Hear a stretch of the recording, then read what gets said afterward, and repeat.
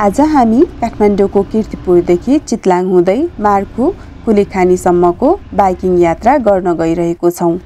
हाम्रो यात्रा बिहानको छ बजे किर्तिपुरबाट सुरु भयो। किर्तिपुरबाट सतुङ्गल चेकपोस्ट गोदामचौर हुँदै यात्रा अघि बढ्यो। किर्तिपुरदेखि मार्खुसम्मको दूरी करिब अठाइस किलोमिटर रहेको छ।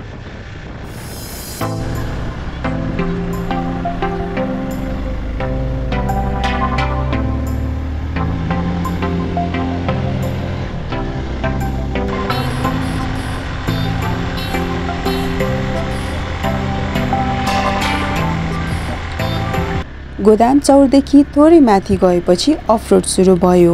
थानकोटदेखि चितलाङसम्मको यो सडक खण्डलाई गणेश मानसिंह मार्गको रूपमा पनि चिनिने गरिन्छ। यहाँको बाटो बनाउने र फराकिलो गर्ने योजना दुई हजार एकहत्तर बहत्तर सालमा सुरु भएको थियो। बाटो फराकिलो गर्ने काम अहिले पनि चलिरहेको छ। ठाउँ ठाउँमा ग्राभेल गर्नको लागि बाटो मिलाइरहेको देख्न सक्छौँ। यदि तपाईँ वान डे हाइकको प्लान बनाउँदै हुनुहुन्छ भने चेकपोस्टको गोदाम चौरदेखि मार्कुसम्मको पदयात्रा तपाईँको लागि बेस्ट अप्सन हुन सक्छ। गोदाम चौरबाट केही माथि पुगेपछि जङ्गल भएर जाने सर्टकट बाटो पनि पाउनुहुन्छ जुन बाटो भन्ज्याङसम्म पुग्छ। यो रुट पैदल यात्राको लागि अति नै उपयुक्त रहेको छ।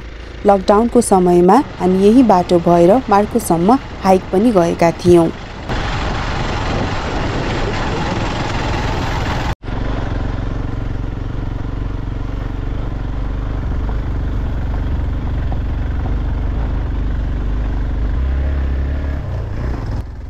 थानकोटको चितलाङ सडक मार्ग अहिले निर्माणाधीन अवस्थामा रहेको छ।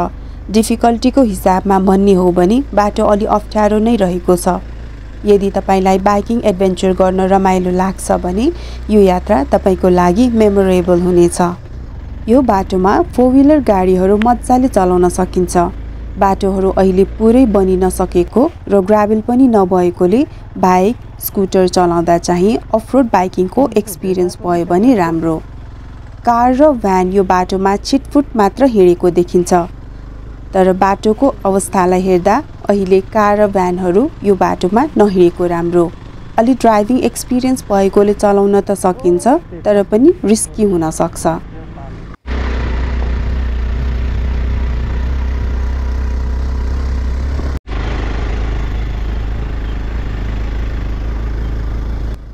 यहाँबाट काठमाडौँ भ्यालीको मनोरम दृश्यको मजा लिन सकिन्छ। मौसमले साथ दिएको अवस्थामा काठमाडौँबाट देखिने हिमालहरूको पनि दृश्यावलोकन गर्न रमाइलो हुन्छ। करिब आधी घन्टाको यात्रापछि हामी भन्ज्याङ पुग्यौँ। यो ठाउँ काठमाडौँ र मकवानपुरलाई छुट्याउने सिमाना हो। भन्ज्याङको पूर्वी भागमा काठमाडौँ पर्छ भने पश्चिम भागमा मकवानपुर पर्छ। यहाँबाट चन्द्रागिरीको भालेश्वर महादेव मन्दिरसम्मको हाइकिङ यात्रा गर्न सक्नुहुन्छ।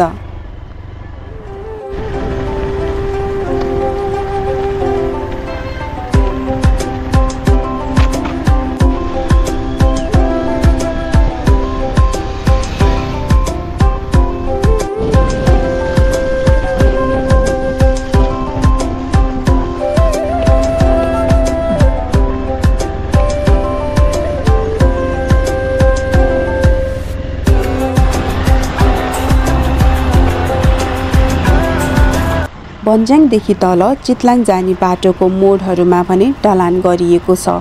तुलनात्मक रूपमा काठमाडौँको साइडको बाटोहरूभन्दा यहाँको बाटोहरूको निर्माण कार्य अलि धेरै भएको पायौँ।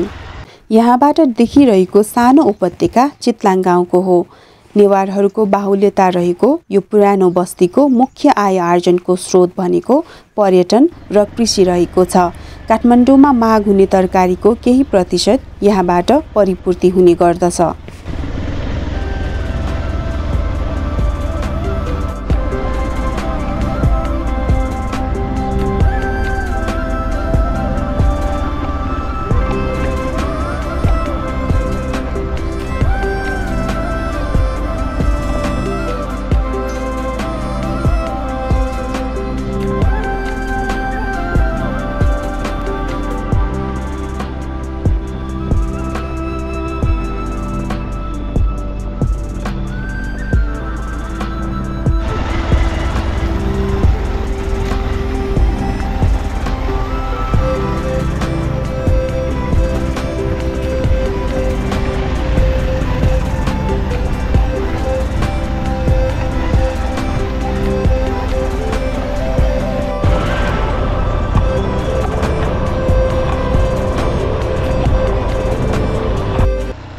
ठाउँ ठाउँमा ग्राभेल गर्नको लागि रोडाहरू बाटोको छेउछेउमा राखिएको छ। बाटोको निर्माण कार्य भइरहेको देख्न सक्छौँ। बाटो पूर्ण रूपमा बन्नको लागि अझै धेरै समय लाग्ने देखिन्छ।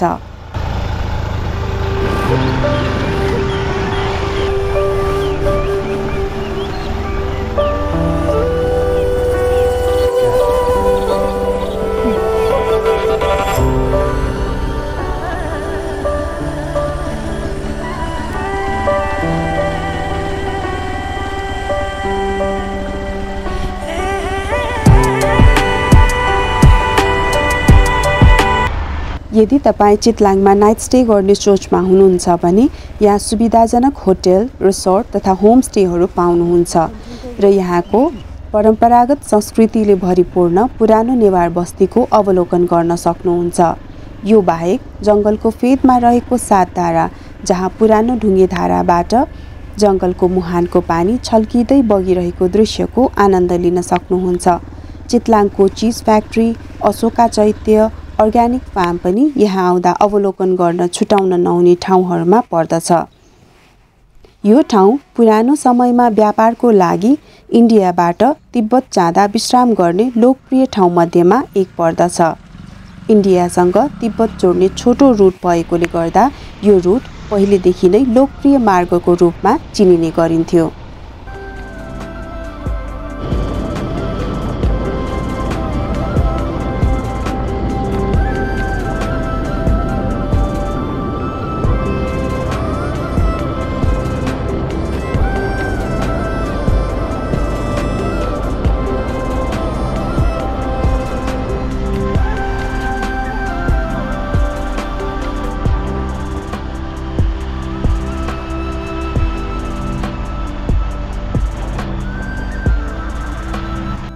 चितलाङको मेन बस्तीको बाटो चाहिँ मजाले पिच गरिएको छ। बाटोको छेउछेउमा खेतका आलीहरूमा तरकारी खेती गरेको देख्न सकिन्छ।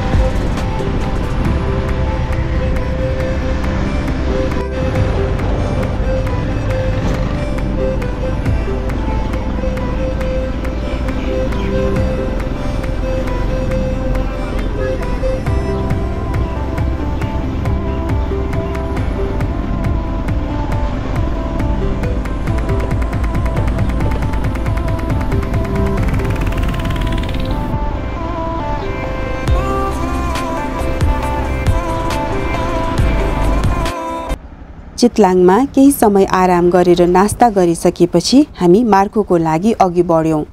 चितलाङ भएर टिस्टुङ हुँदै त्रिभुवन राजमार्गको बाटो पनि निस्किन सक्नुहुन्छ।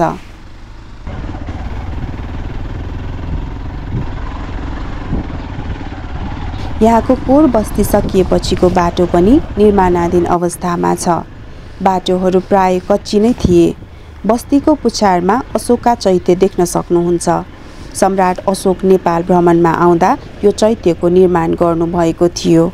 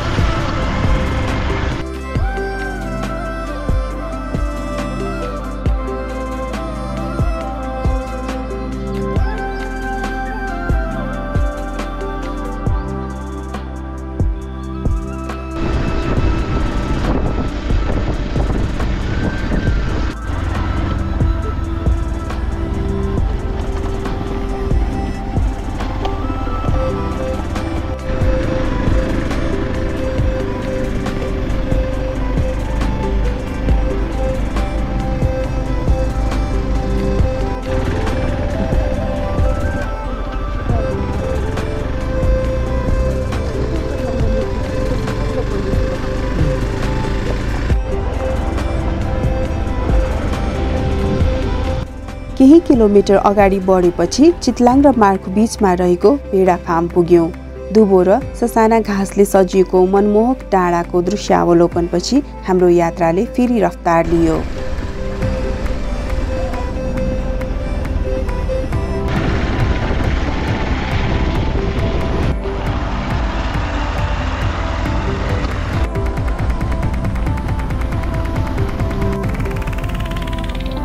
विकेन्डमा फ्यामिली र साथीहरूसँग पिकनिक मनाउन र नाइट स्टे गर्नको लागि यो ठाउँ उपयुक्त छ जहाँ तपाईँले थुप्रै होटेल तथा रिसोर्टहरूको सुविधा पाउन सक्नुहुन्छ। कुलेखानीमा तपाईँले zip line giant swing free fall एडभेन्चरहरूको पनि मजा लिन सक्नुहुन्छ। अहिले भने तालको पानीको लेभल निकै कम छ।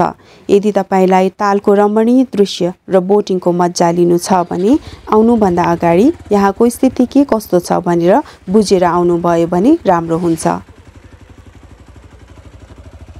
भिडियोलाई अन्तिमसम्म हेरिदिनु भएकोमा धेरै धन्यवाद।